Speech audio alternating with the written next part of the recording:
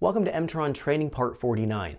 In this training tutorial, we're going to be taking a look at how to integrate VTEC tuning into our calibration strategy. We're going to learn how to turn on the cam switching feature based on a variety of conditions and how to link that into our fuel and spark timing so we can characterize both low and high cam operation on a Honda VTEC engine. We have a lot to talk about. Let's jump in so we can check this out.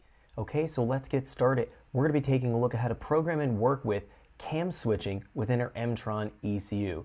Now cam switching is really going to be applying to something like a Honda VTEC engine where it has two different distinctive cam profiles and we're going to be switching the cam profiles based on throttle position, manifold pressure, and engine RPM so that we can have the best of both worlds where we have good idle, good part throttle drivability, good fuel economy, and good emissions from the low cam operation. Then we can switch into more of a race profile on that same exact camshaft locking in the VTEC locker pins and the rocker arm assembly, we have a lot higher lift, a lot higher duration. We can get a lot better performance out of the VTEC operation on the high cam, and we'll find in that situation that we can make a lot more horsepower.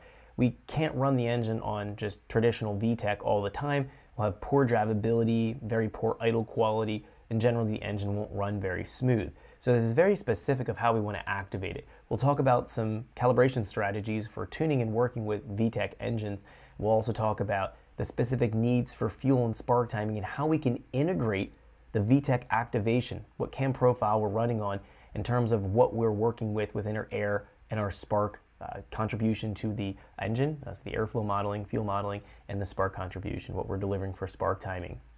Let's first go in and let's talk about how to configure the output to control a VTEC solenoid.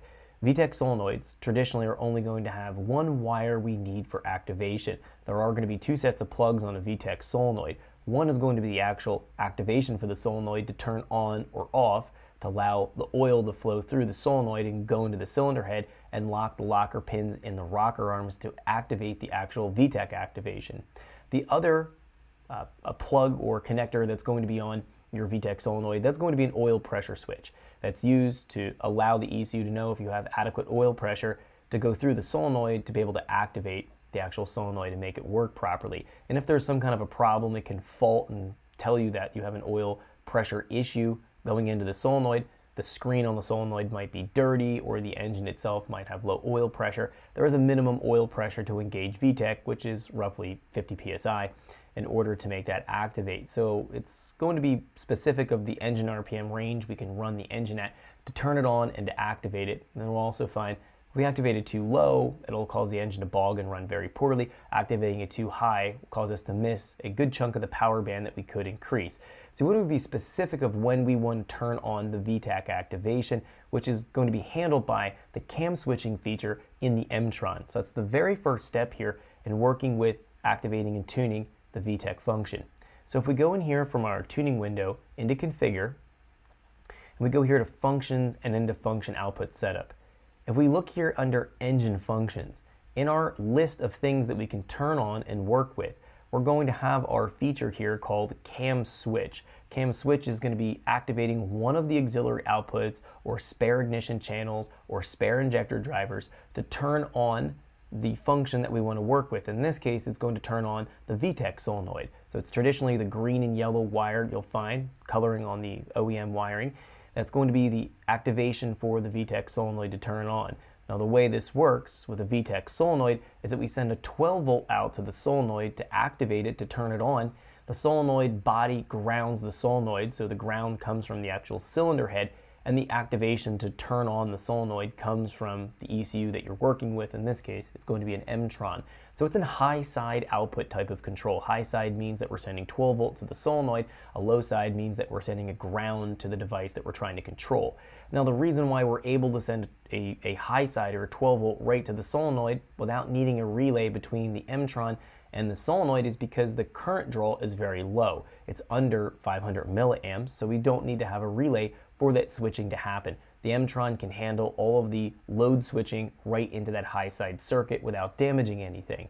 Let's go in here to the cam switch. First thing here, we're gonna go and actually activate it. So we're gonna go to the function enable, go here and turn it to on.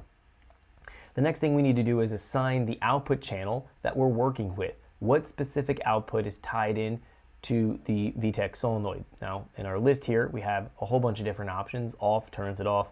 On, no output means that we're just virtually arming this particular channel. We don't want to do that. We actually want to turn an output on to activate the solenoid. We have our aux channels here in our list. We can choose any of these up to 16. We also have our injection channels. These are the injector drivers. We can use any of the injector channels that are spare. So if I have a, let's say, a, a four cylinder engine, I'm only using four of my injector channels. I can use uh, the channel 5, 6, 7, and 8, or driver 5, 6, 7, and 8 to drive the solenoid. Same with our ignition channels. If I have a four cylinder engine, I'd have 5, 6, 7, and 8 in my ignition channel, the ignition driver to be able to go and trigger that particular uh, solenoid. In this case, I traditionally just use my aux channels. Let's say we're assigning it to our aux channel 9, say where we've wired our VTEC solenoid. Now the other few details we have to program here, that's going to be what type of output it's sending to the solenoid itself. Thanks for checking out our teaser clip. If you want to see the rest of this video and more than 500 hours of current EFI training we have to offer, make sure you click right here. If you want to go and check out more teaser clips from this training course, click here. And you don't want to miss any of the videos we're going to be releasing on this channel, so make sure you subscribe and click here. Thanks for watching, and I'll see you guys later.